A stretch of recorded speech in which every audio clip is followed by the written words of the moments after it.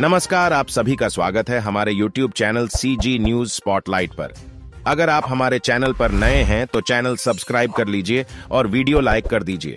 राष्ट्रीय परीक्षण एजेंसी ने जेई मैन 2022 के सेशन टू की परीक्षा तारीख को आगे बढ़ाकर अब 25 जुलाई 2022 से कर दिया है। इस परीक्षा का आयोजन देश भर में 500 शहरों और विदेश में 17 शहरों में होगा जिसमें कुल 629,778 छात्र शामिल होंगे।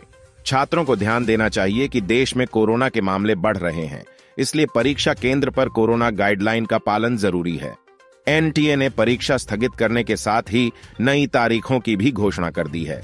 जेई मेन सेशन टू के अब 25 जुलाई 2022 से होने की यह जानकारी छात्रों के लिए उपलब्ध है एनटीए की आधिकारिक वेबसाइट पर।